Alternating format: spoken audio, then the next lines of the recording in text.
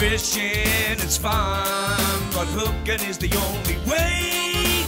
We're gonna show you how to catch some fish today. So hey guys, I'm here at the ISE show in Sacramento and I just did a demo demonstration on how to catch big stripers in the Delta. I showed you what kind of equipment to use, the rods, I talked about the baits, I showed you how fast to reel, and actually showed you the lure in the tank, how I can make it look just like a fish, just sitting there still, not moving. Because those stripers, those big ones, like to eat stuff that they don't have to chase. So don't miss this one.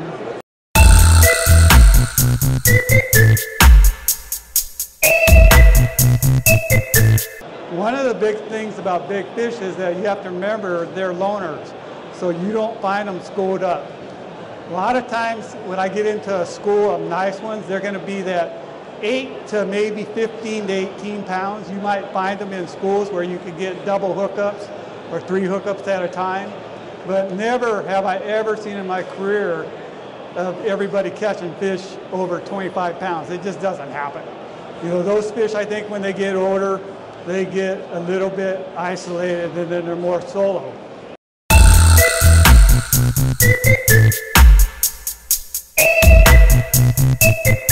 Back in the old days, you know, when you're, let's just say 30 years ago, and you catch a big fish, nobody threw them back. Everybody cleaned them, took them home, and ate them. Well, when you're doing this and you're cleaning them, I always cut the bellies open, looked at them, because I was always fascinated on, you know, what those things eat. And I could say one of the main things is your squawfish, uh, bluegill, you know, those are their main diets. This bait here, my fingers are eight inches, so that lure is probably about 11 inch. So you get a big fish, he wants to eat one time. He doesn't want to waste energy chasing little things like this. He wants to eat something. So he wants to eat something that's big in size. So you got to have the right baits. And another thing is like a, a striper that's loner, he's sitting there and he's going to be ready to ambush something. So I use like weed beds, I use uh, points, I use islands. Um, where I go, I, I'm going to tell you right now that most of the time I'm in one to three feet of water when I'm after these. One of the techniques that I use is I found out is what I do is when I know a fish, say, feeds on squawfish, I go in YouTube, I mean, I go on the internet and I search and I find out what the squawfish, where it lives, what time of year it spawns, what it likes to eat. So, in other words, what I do is if I wanted to go after somebody and I knew he liked straw hat pizza, well, I'd go wait for him at a straw hat pizza. Same thing what I do with these squawfish. I learn what they eat. I learn their habitat. I learn where they live. Because I know if I go there, I'm going to catch them. So after I do that, the next thing I need to do is get the lure to work like those fish. So if you guys go over to this tank and look at the fish, you don't see it, all of them swimming all over all crazy, right? You know how they just sit there like this and don't move? That's the perfect target for a fish that that's big that's looking for a meal.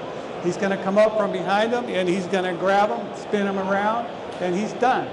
But they look for that nonchalant lure. Well, to get a lure to do that, to a lot of you guys, it's probably you're probably saying that's impossible, but it's not. They make these big baits. They're very neutral.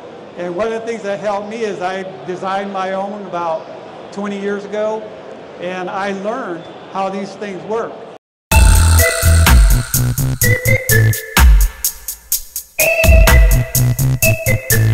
Um, you either make them out of wood or resin, and I found that resin is the easiest way to make these baits because they make what they call spears. So basically how these work on swim baits is that they all float. And what happens is this bait constantly wants to float up. Then you position the weights in the body to sink it so you get a sink rate. So like if you went into the shop and you looked over there and you saw a swim bait the same color, you see three of them, you're going to see one that floats, one that sinks slow about like this, and then you're going to see one that sinks fast and it's going to go like this. They make them so that they float up and they're weighted to pull down. I'll tell you guys a trick is that when you guys try to re-weight these things, it's very important where you put the weight. So there's sometimes when I want the bait to roll on its side, then I would put set the weight up higher in the body. So then when I pull it a little bit, the bait's going to roll. And there's at times when you don't want it to roll, so you I have it where it's set lower in the bottom, and it'll keep it tracking straight. Fish are kind of a funny creature. There's sometimes when they want it real fast, sometimes when they want it slow, but these big fish, they want it slow as you could go. They're looking to ambush it.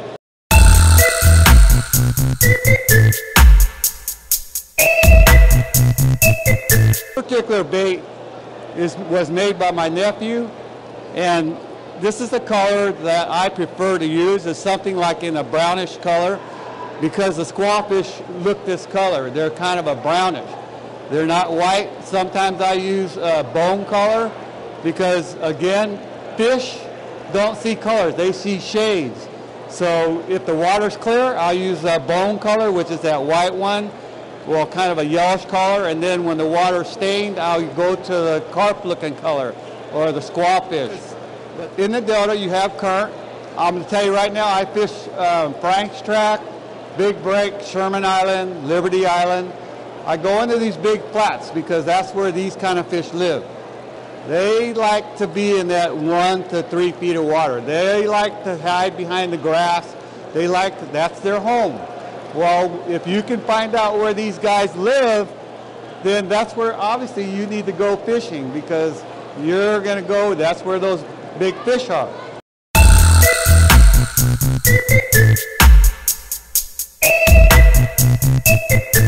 But one thing about this swim bait is I could get this thing to just sit neutral. So if I'm only in water this deep, this lure hits the water, it splashes almost like a fish jumping, but it doesn't move, it just sits there stays like this. And if I just go like this a little bit with the rod tip, this tail just goes like this. Looks just like those fish in there. And you better be holding on to that rod because when they hit it, it's going to take the rod out of your hand. There is no messing around. You're just going to see a monstrous boil like someone threw a Volkswagen in the water. But they'll go after these things because this is the natural looking prey. This company is called Deps. They make one of the, the better ones but they also have a high price tag on them. So a bait like this, this one is a, a slow sinker, but I actually, it has a plastic cover over the top. I actually put it in hot water. I took the hooks off, I peeled it back, I drilled a hole, took some weight out to where I had it when it hit the water, it didn't move. So basically, when this thing hits the water, it doesn't move at all. And then if I sweep it hard, it goes down about a foot and it just stays there. It doesn't move. It just sits there, just like this. Perfect. You have to have a lot of patience when you're fishing for these big fish because when, you, when I do it, I might make a cast and it takes a while to bring it in. I just let it sit there just like a fish would naturally. If you're in the current, it'll just sweep with the current. It will not move. It just stays right there. This particular bait, 200 bucks. Well, you don't lose them unless the fish breaks you off. Turn the reel real slow, just like this. And it's actually kind of hard when you're fishing just to let it drift around like this. But I just went looking just like he's just moseying along, and that big fish will just come and inhale that thing. So these here are also neutral buoyant. So when I throw it out, it doesn't sink, it sits there. And then when I sweep it, it go down like that, and it just stays there. And it just moves like this. It has a picture of the kid holding a fish like this. That's my nephew. It had this bait in his mouth. And when it comes up, you'll see it. You can't even see it. That fish choked this thing. So you can imagine how big it was. So this is the same bait, but it's a bluegill color because that's what our bluegill look like down in the Delta system. This is a big bait. You see my hands, that's eight inches. It's pretty wide. And they choke it. So this lure is in their throat when they bite this thing. See, doesn't look really natural, live. Go ahead, fish. And like when you're fishing, if you watch how slow I'm turning this handle, it's hard to do it like this. I mean, you just almost have to have a cup of coffee here and then take a sip, put it down. Do these seminars. I think when I've gotten older, I'd like to teach people and you know, I could teach him something and he'll come back in and tell me or email me back and say, hey, it worked, I caught a lot of fish, thanks for the tip. That makes me more happy than catching one of those 30 pounders.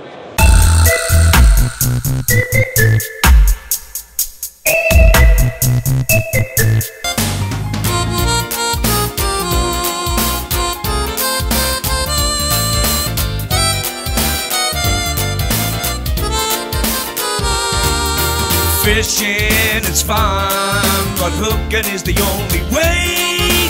We're gonna show you how to catch some fish today.